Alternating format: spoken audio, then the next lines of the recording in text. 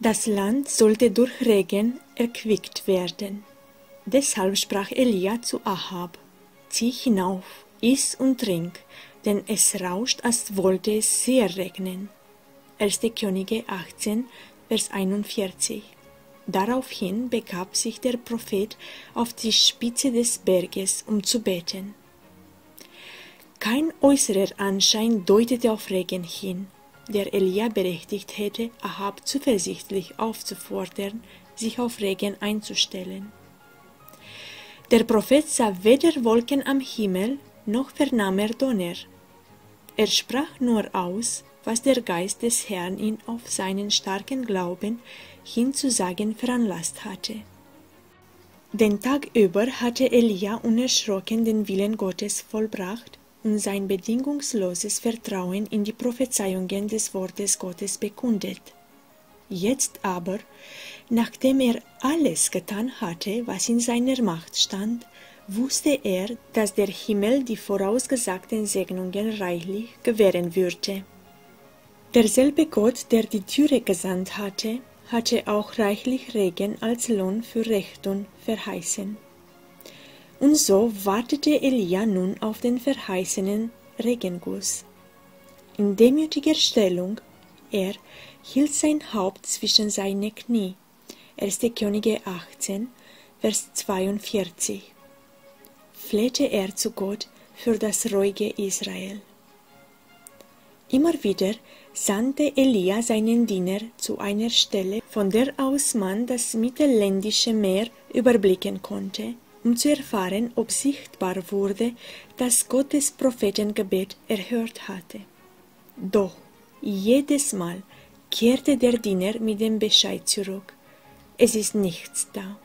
1. Könige 18, Vers 43. Der Prophet wurde deshalb aber nicht ungeduldig, verlor auch nicht seinen Glauben, sondern fuhr in seinem inständigen Flehen fort.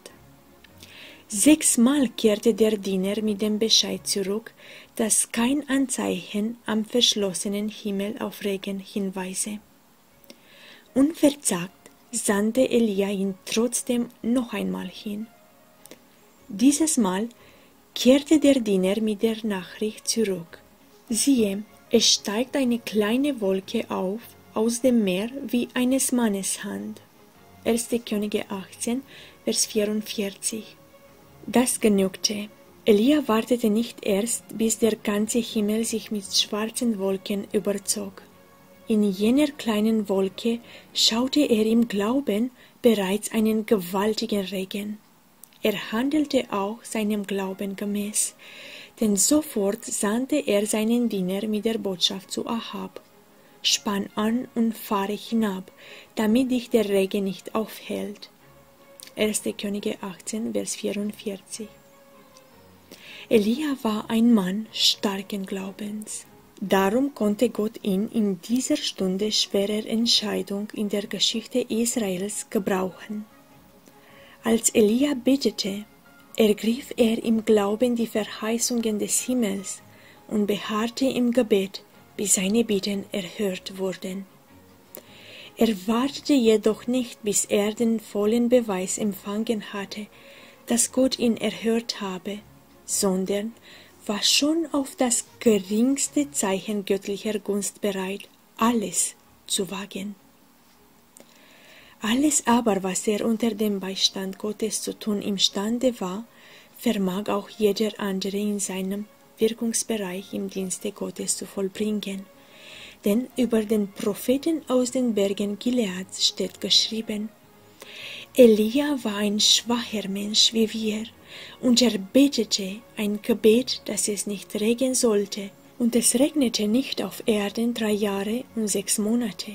Jakobus 5, Vers 17. Auch in der Welt von heute wird ein so starker Glaube benötigt, ein Glaube, der sich auf die Verheißungen des Wortes Gottes stützt und sich weigert, von ihnen abzulassen, bis der Himmel antwortet.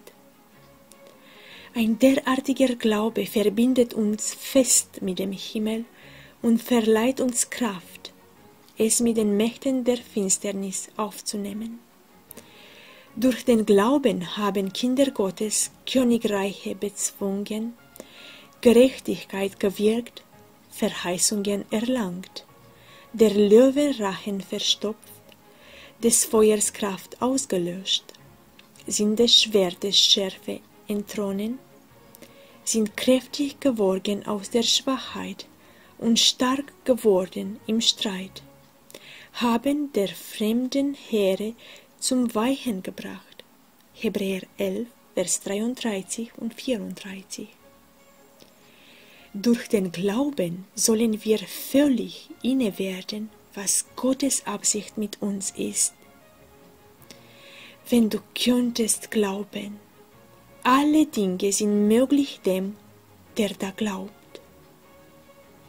Markus 9, Vers 23 Glaube ist ein wesentlicher Bestandteil eines wirksamen Gebetes. Wer zu Gott hinkommen will, muss glauben, dass er ist und es denen lohnt, die ihn suchen. Hebräer 11, Vers 6 Wenn wir etwas bitten nach seinem Willen, so hört er uns. Und wenn wir wissen, dass er uns hört, was wir auch bitten, so wissen wir, dass wir erlangen, was wir von ihm gebeten haben. 1. Johannes 5, Vers 14 und 15. Mit dem beharrlichen Glauben Jakobs und der unermüdlichen Ausdauer Elias dürfen wir unsere Bitten dem Vater darbringen und alles in Anspruch nehmen, was er verheißen hat. Mit der Ehre seines Thrones bürgt er für die Erfüllung seines Wortes. Amen. Propheten und Könige von Ellen G. White, Seite 110, 111